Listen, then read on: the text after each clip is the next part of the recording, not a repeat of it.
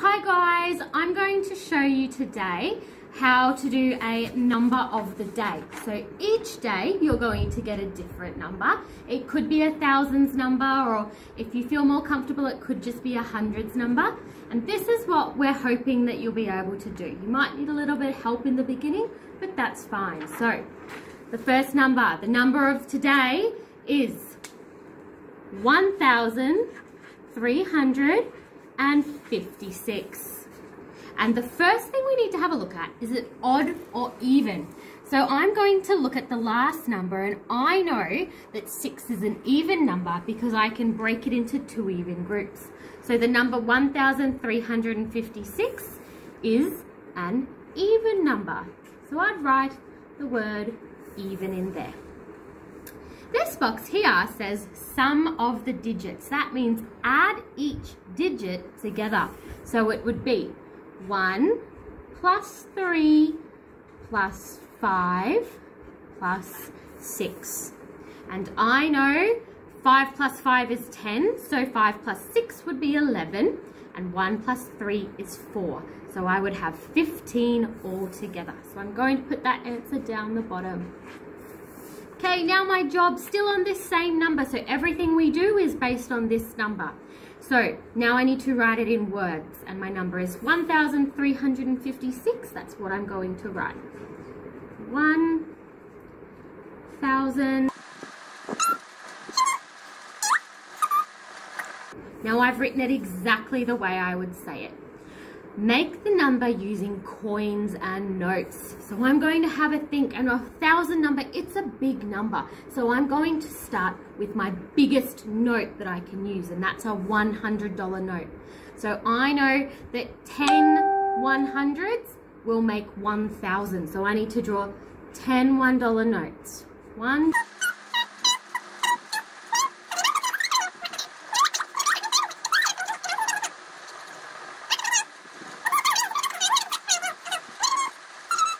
So now I'm showing 1,300. I still have 56. So I'm going to put a $50 note. And I need $6. I'm going to use a $2 coin, $2 coin, and two $1 coins. So I've got 100, 200, 300, 400, 500, 600, 700, 800, 900, 1,000, 1,000 1,100, 1,200, 1,300, and 50, 2, 4, 5, 6. Yep, that's the number. Now this one here, tally marks, you would be going for a long time with the thousands number. So I think, and you can do a thousand number if you want, I'm just going to do the 300 number. Gee, do I have enough room there? I don't know. I don't think so, but I'm going to give it a go. So I go one, two, three, four, five. Five, 50, 55. Today I'm going to just do 56 because we can't fit too many more. But what I'm also going to do is just right next to it, 56. If you have a spare piece of paper at home and you want to do 1,356 tally marks, you can do that if you want. So now I need to write a sum that equals my number. So I know my answer will have to be 1,356.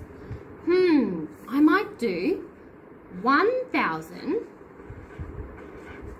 plus 300 plus 56. But you could do so many different options. You could do 1,256 plus 100. You could do 500 plus 500 plus 356. You could do so many different things. Okay, now I need to add and subtract from this number.